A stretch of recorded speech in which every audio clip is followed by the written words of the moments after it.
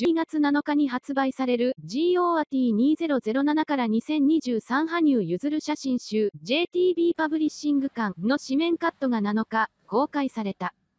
同書は、プロフィギュアスケーターの羽生結弦を2007年以降、15年以上にわたり撮影してきたフォトグラファー、坂本誠史による写真集。ナバス時代からプロ転向後まで、国内外の競技会やアイスショーで撮影した10万枚以上の中から厳選した写真を美麗なデザインで見せる。味方箱入り200ページ帳の豪華仕様となっている。また、前半後半の間のインターミッションでは練習着姿や2度の金メダル獲得後の凱旋パレード、表彰式や公式会見などでの表情を紹介する。端末には坂本氏による撮影時のエピソードや思い出コメントを収録。テキストは日本語と英語を併記する。8月末にはフィギュアスケート総合誌、フィギュアスケートライフ、不走者の別冊、羽生結弦プロフェッショナルを発売。2022年7月19日にプロ転向を表明後、1年で単独公演、プロローグや東京ドーム単独公演、ギフトをはじめ、3月11日に被災地から希望を発信した羽生結弦ノッテステラタなど、数々のアイスショーを成功させた。同誌ではプロアスリート1年目の羽生結弦の活躍を、豊富な写真とレポートで振り返る一冊となっていた。堂本光一と羽生結弦さんが王子対談、人生をスケートで表現している人、完璧主義者なところが似ている。16から3週連続 NHKE テレ、スイッチインタビューで共演。キンキキッズの堂本光一44とフィギュアスケート男子で冬季五輪2連覇の羽生結弦さん28による初対談が実現した。10月6、13、20日に放送される NHKE テレ、スイッチインタビュー、金曜5級、30で共演。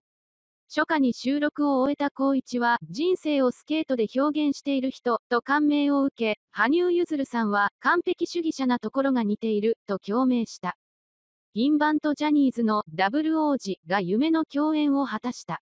スイッチインタビューは異なる分野で活躍する2人の達人がゲストとインタビュアーをスイッチしながら成功への道筋や独自の哲学を語り合う番組。高一は舞台、ショックシリーズが通算1986公演でミュージカル単独主演記録を更新中。羽生結弦さんは2014年ソチ、18年ピョンチャン両冬季五輪を連覇し、互いに唯一無二の存在として知られている。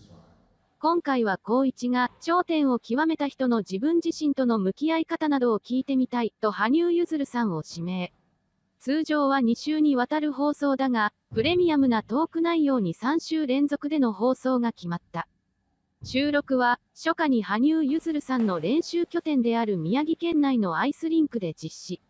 高一が陸上でのアップ段階から1時間にわたり練習を見学する中、羽生結弦さんは表情でソチ五輪ショートプログラム、パリの散歩道の音楽に乗せ、4回転ジャンプやトリプルアクセル、イナバウアーなどの美技を披露した。翌日、2人は羽生結弦さんが15年当時の世界最高得点を更新した NHK ハイフリー、生命やショックの代名詞である階段落ちの映像を見ながら対談。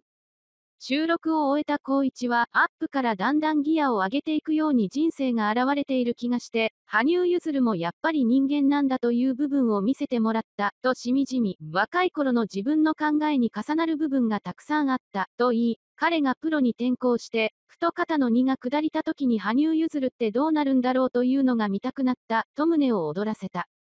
羽生結弦さんは、理想が常に自分の前にある感覚がすごく似ている。見てくださる方の期待に応えたい。答えられなければやめればいい。そんな感情を分かり合えた。自分は一人じゃなかったと思えました。と感謝。高一さんの経験や知識を参考にさせていただいて、自分の賞やプログラムに向き合っていければ、と金メダル級の金言を糧に飛躍を誓った。高一、初フィギュアは羽生結弦さん羽生結弦さん、かっこいい、高一に憧れ。高一はフィギュアスケートに関してテレビで見るにわかと明かし、生で初めて見たのが羽生結弦さんの練習。贅沢です。今後の人生で自慢にしようと興奮。羽生結弦さんは、これから年を重ねていくにあたって光一さんのようにかっこいい男性になれたら、と憧れを抱き、ショック、母性で見て勉強させていただきたい、と、再会を熱望した。